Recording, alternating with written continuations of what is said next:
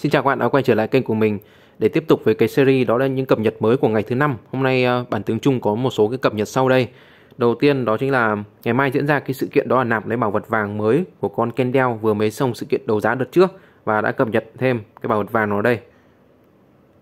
Đây, đây chính bảo vật vàng của Kendall này tăng thêm ờ, 5 15% ờ, công đặc biệt, 8% tỷ lệ kích lận.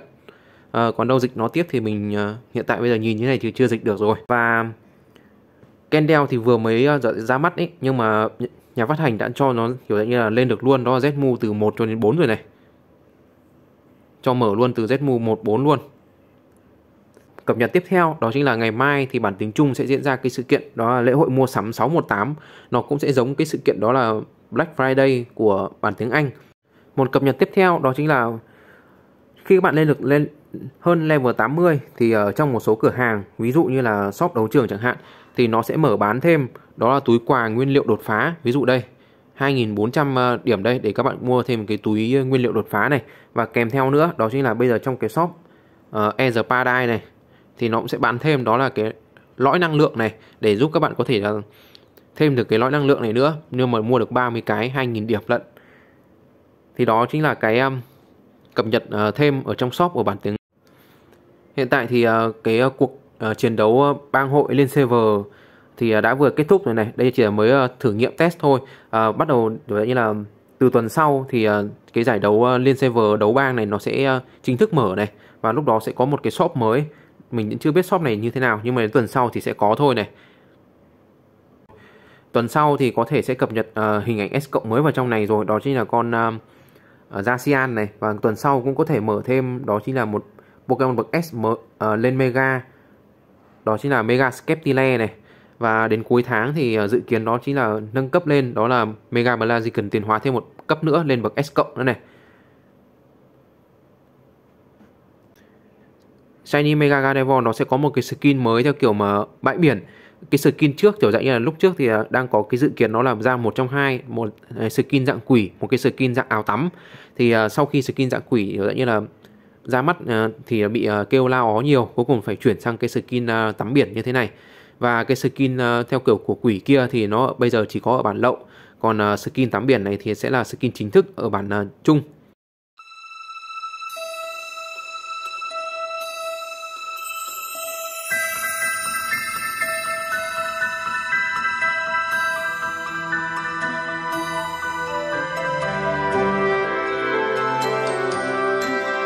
Và chuẩn bị đợt tới đây sẽ có thêm 3 Pokemon nữa sẽ nằm trong đợt chỉnh sửa bộ skill. À, đó chính là Darkrai là một. Tiếp theo đó chính là Zelra và cuối cùng đó chính là Seimin. Và sau à, đợt S cộng này thì sẽ có thêm 6 con nữa cũng sẽ nằm trong đợt chỉnh sửa tiếp theo. Đó chính là con uh, Mega Rayquaza này. Uh, tiếp theo đến là Eventual này. Uh, Zekrom này. Gigade và Luala và Masadao cũng nằm trong đợt chỉnh sửa sắp tới nữa ở đợt 2 ở ờ, sắp tới. Chuyển qua bản tiếng Anh, bản tiếng Anh thì ngày mai sẽ diễn ra sự kiện chính đó chính là Gachapon này và đinh kèm bao giờ cũng sẽ có một cái sự kiện Red phụ à, ờ, đó chính là Ziachi với cả Reshiram này. Và trong Gachapon này nó cũng sẽ bán mảnh của hai Pokemon này. À, dần dần cứ về sau thì Gachapon nó sẽ bán mảnh của những S cộng mới hơn. Và À, quan trọng hơn đó là có một ải phiêu lưu mới vừa đã được cập nhật ở bản tiếng Anh, đó chính là Mimic Battle này.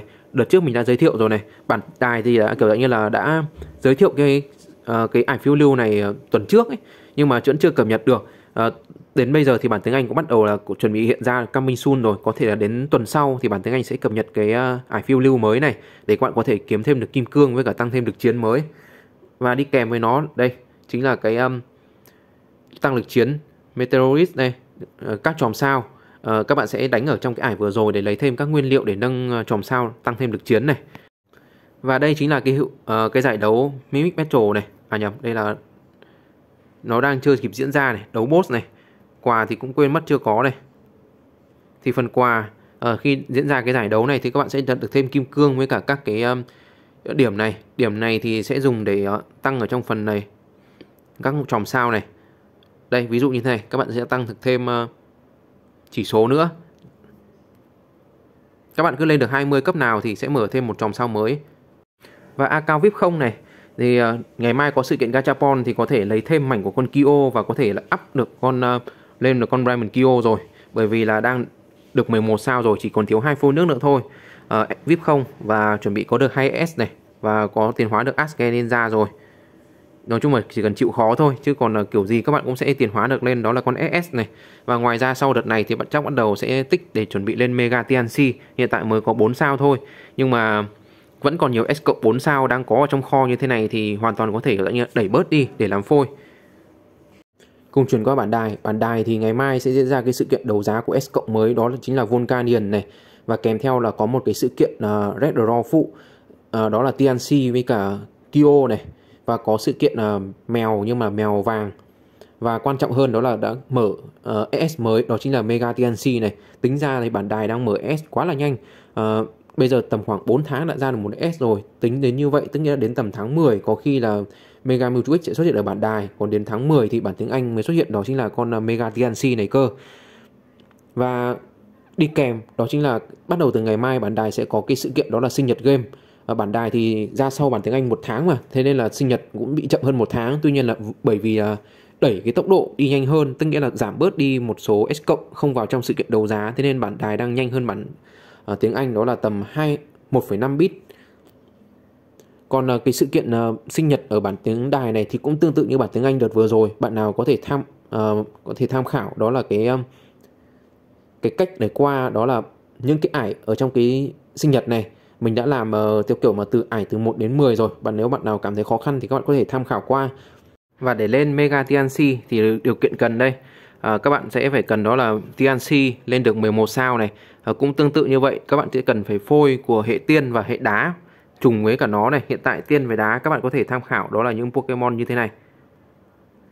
À, bạn có thể sử dụng Sonia này Magena này Shiny Mega Tiraita này hay là con um, uh, Shiny Mega Gardevoir này. Bởi vì xuất hiện Mega TNC sớm quá mà trong khi Shiny Mega Tiraita phải đến tận uh, rất là lâu nữa thì mới xuất hiện để có thể đi cặp cùng với cả con uh, Mega TNC này. Thế nên thời điểm này uh, có những Pokemon kiểu như là các bạn đã có sẵn như thế này thì có thể đi kèm được với cả Mega TNC uh, theo kiểu mà để búp uh, hiệu ứng đó là đất đá tiên của nó thì các bạn có thể sử dụng Diamond Gordon hoặc là Zigade và đi kèm một Pokemon hệ tiên nữa. Ví dụ như con tia uh, con uh, Magena vừa rồi hay là con Sonia chẳng hạn, thì là sẽ là kích hoạt được cái nội tại của Mega TNC. Về bản tiếng đài thì à, mình đã review về bộ skill của Volcanion sau khi được chỉnh sửa lại rồi.